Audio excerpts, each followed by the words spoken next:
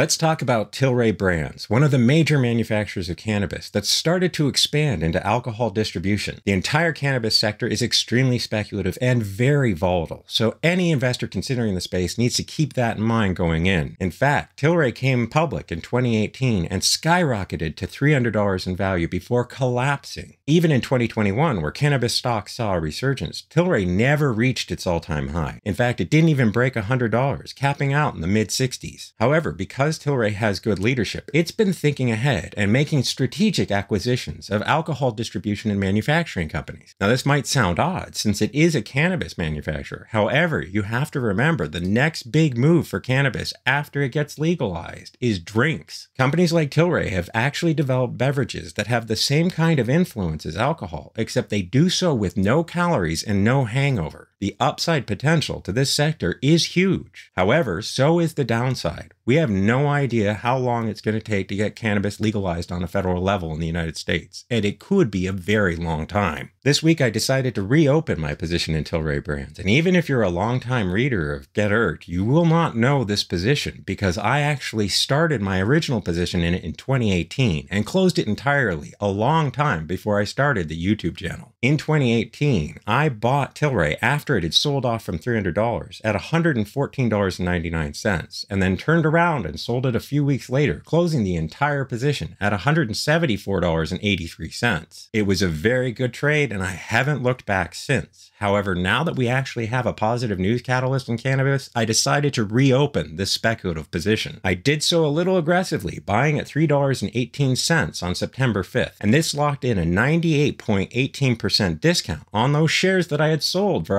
$174.83 back on October 16th of 2018. The way I'm going to mitigate my risk in this position is I'm only using the profits that I got from my original play. I will never put real investment capital back here as we don't know how low it could go but I am interested in using the profits for further upside. The buy left me with a per share cost of negative $10.76. And in my portfolios, a negative per share cost means I've taken out the original investment capital in addition to $10.76 per share of the position I still hold. I'm going to continue being aggressive with Tilray, and my next buy order is at $2.57, a point of resistance that you can see many times in its past. My next sell target isn't until $55.01. Now, I might change my mind if we do start seeing cannabis rocket higher, and I may take profits sooner than that. However, even as a speculative investment, this is still a long term investment, so I don't mind holding it for the long term, particularly since I'm just playing with the house's money. For more ways to play cannabis, including two ETFs that I find to be much more safe and reliable for long term investors, you can check out my previous video on the topic. If you want to learn more about long term investing, in addition to seeing my own personal stock shopping list of where my next buy targets are are for all of my positions. Check out my website, getirked.com, which is always 100% free. Please hit like and subscribe. It really does help my channel out. And I'll see you in the next video.